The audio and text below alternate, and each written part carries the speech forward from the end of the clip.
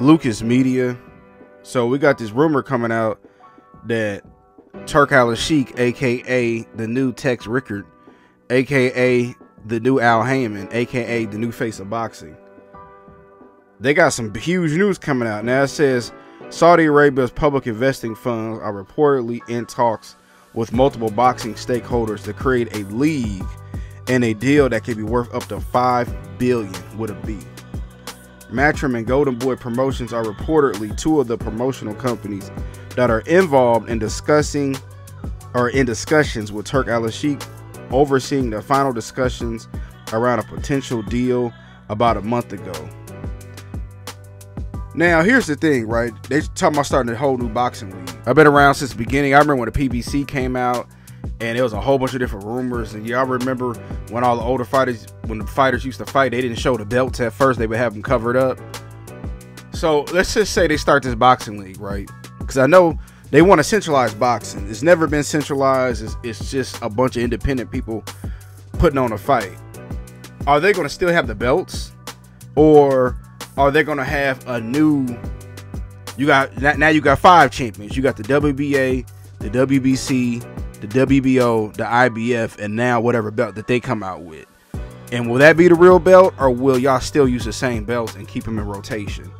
Then the next thing is, okay, what if everybody but the PBC joins the league? So then are they froze out? I mean, what if they become one of the mandatories? Or I've also heard rumors that they might end up buying the PBC. Rick Glaser reported it, and there's also, well, he tw- he teased that that might happen, and also I've seen it in a couple other reports. So I it's a lot. I, boxing should be centralized, but at the same time, if it is, that could still be some problems. However, I just I don't know. I don't know how that's gonna work. But that might be one of the reasons why a lot of fighters are leaving because if you could put up five billion, five billion to put on fights, you could start signing some of these top fighters and get them more fights they want. I can see, I can see it working. Now the Saudis, they have been putting a money in American pockets. What since they bought the PGA, they literally bought or they started at LIV Golf, offered all them people crazy amounts of money.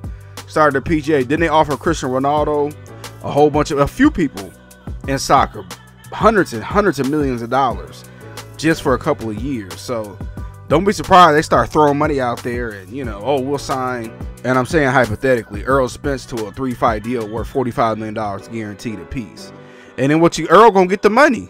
So we'll see if that starts pulling all of the fighters out of you know different promotional companies. And again, are is is Riyadh gonna be the new Vegas? Are we starting to see the end of Vegas being the premier city for fights? Or will they will this boxing league be in multiple cities and all over the world and you know, we'll have to see, but it looks like they want Riyadh to be the new Vegas and it's starting to happen.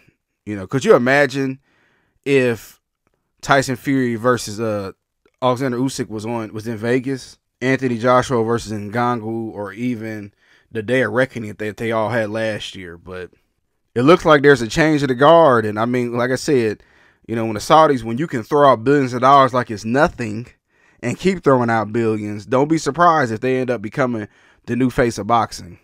But I just want to get my quick thoughts about it. Tell me what y'all think.